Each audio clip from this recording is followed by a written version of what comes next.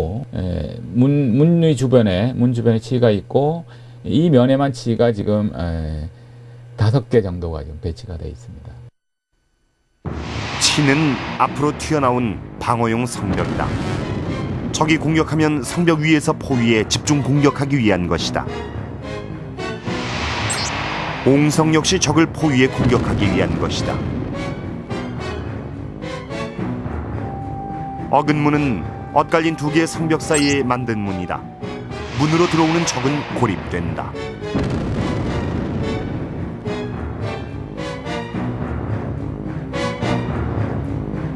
당시 고구려의 축성술은 매우 뛰어났다. 흔적은 남아있지 않지만 요동성도 치와 같은 방어 시설을 갖춘 난공불락의 성이었을 것이다. 요동성은 기록에 따르면 대략 높이가 한 30m를 넘는 굉장히 큰 성으로 어, 기록되어 있습니다. 여기를 수나라 본진이 수백 겹이나 이제 그 에워쌌다라는 표현이 나오는데 음, 수나라 군대는 이 요동성에서 약 4월 중순부터 철수하게 되는 7월 말까지 3개월 동안 이 성 하나를 점령하지 못합니다. 병서 무경 총요엔 고대 중국에서 사용된 공성용 무기가 상세히 적혀 있다. 성을 공격하는 기본 장비인 사다리차 운제.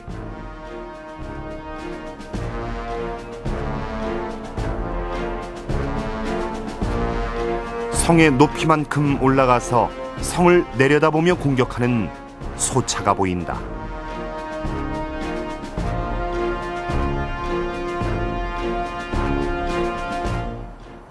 성벽에 돌을 던지던 투석기를 복원해 보기로 했다. 당시 투석기는 사람의 힘을 이용해 돌을 던질 수 있게 한 구조다. 밧줄이 많이 연결될수록 많은 사람들이 한꺼번에 투석기를 당길 수가 있다.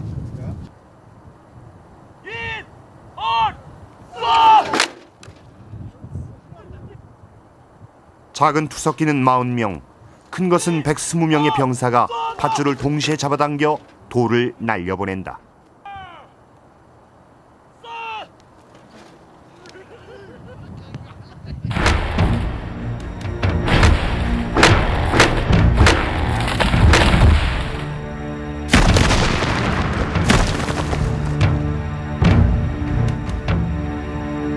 그러나 요동성은 요지부동이었다.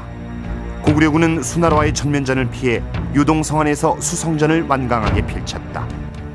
이때부터 수나라 백만대군의 보급에 문제가 생기기 시작한다.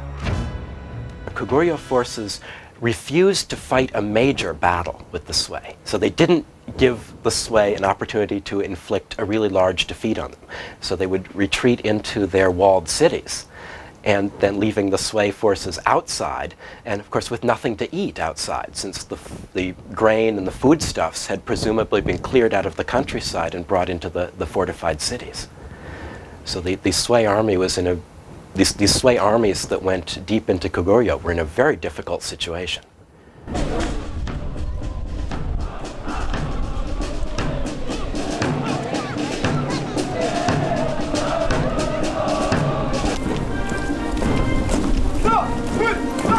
방어 전술이었고 실제로 당시 고구려군의 전술은 육군사관학교 수업에서도 인용된다. 청야 입보, 청야는 들을 비운다는 말, 입보는 성 안으로 철수해 수성전을 벌이며 적을 고갈시킨다는 말이다. 고구려군이 사용한 청야 입보 전술은 19세기 초까지 서양에서도 유효한 전술이었다. 큰 그 청야는 들을 비운다라는 개념인데 그 한마디로 말하면 평상시에는 뭐 농, 농업이나 목축업 일반적인 생활을 하다가 적이 공격해 왔을 때 들을 완전히 깨끗하게 비우고 그 성으로 다 들어가서 군 관민이 다 성으로 들어가서 적에게 대항하는 그런 개념입니다. 당시에 동아시아에서 그 일반적으로 보급을 현지 조달을 많이 했었습니다. 일반적으로 군대들이. 그래서 적에게 현지 조달을 허용하지 않기 위해서 고구려는 그 자기들이 생활 터전을 전부 다 불태우고 태우고 완전히 그 비우고 나서 성으로 들어가서 결연하게 방어 준비에 임했던 것입니다. 프랑스의 나폴레옹이 러시아를 침략했을 때 러시아군도 이 청야 전술을 구사합니다. 들판을 불태우고 러시아 내륙 깊숙이 프랑스군을 끌어들이는데요. 이 추운 겨울 보급선이 끊어진 나폴레옹군은 배가 고파지자 도망치듯 철군하다 러시아군의 기습에 밀려 엄청난 수의 사상자를 내고 맙니다. 이렇게 전쟁에서 진 나폴레옹은 황제 자리에서도 쫓겨나게 되는데요. 을지문덕도 수나라군을 고구려 땅 깊숙이 유인해 살수에서 마지막 일격을 가합니다. 끝내 요동성을 함락시키지 못한 수나라군은 요동성을 우회한다. 수양제는 30만 별동대를 고구려의 수도 평양으로 직접 내려보낸다.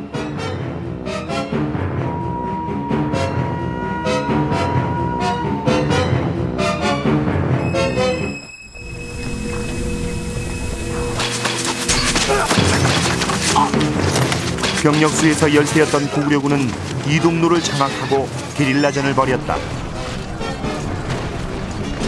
평양성으로 가는 수나라군의 보급 부대가 주요 목표였다.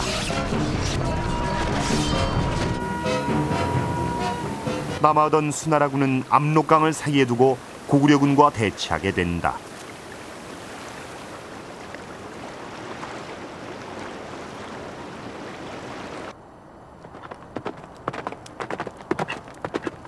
이때 고구려 수나라 전쟁을 통틀어 가장 극적인 상황이 벌어진다. 한 고구려 장수가 호련히 수나라 진영을 찾아온 것이다.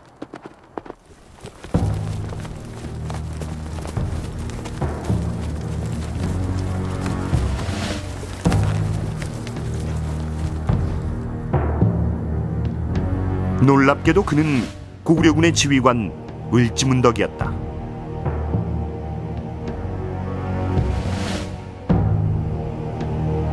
그는 고구려와 수나라의 항복 협상을 시작하기 위해 온 것이다. 을지문덕은 수나라군의 지휘관 우중문, 우문술과 거짓으로 항복 협상을 벌이면서 수나라 진영을 염탐했다. 왜 고구려군의 최고 지휘관이 이런 위험한 임무를 직접 수행했을까? 을지문덕 같이 중요한 인물이 수나라 군대에 가서 포로가 된다면 고구려군 자체가 위험에 빠지게 됩니다. 그래서 을지문덕이 수나라 군대 진영까지 찾아간 것은 적정을 정찰하는 것보다는 수나라 군대의 진격을 지연시키는 것이 대런 목적이 있지 않았나 싶습니다.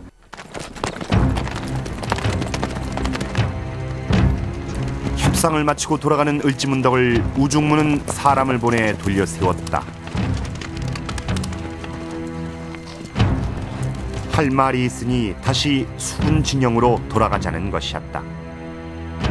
고구려군 지휘관 을지문덕을 잡으려는 수나라의 술책이었다. 하지만 을지문덕은 돌아보지도 않고 압록강을 건너 돌아갔다.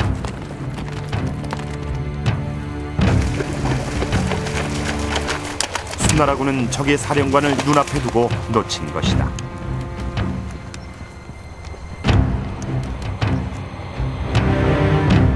이후 고구려군은 일곱 번 싸워 일곱 번 패면서 수나라군을 고구려 평양성 가까이 끌어들였다. 시간을 지연시키면서 수나라군의 식량을 고갈시키려는 을지문덕의 작전이었다. 수나라 병사들은 백일치 식량을 가지고 요동성을 출발했다.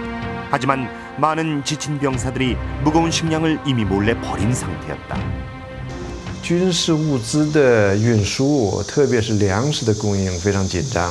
当时士兵要携带大量的粮食，还要带着武器，那么他这个在路上携带这么多东西，他感到非常沉重。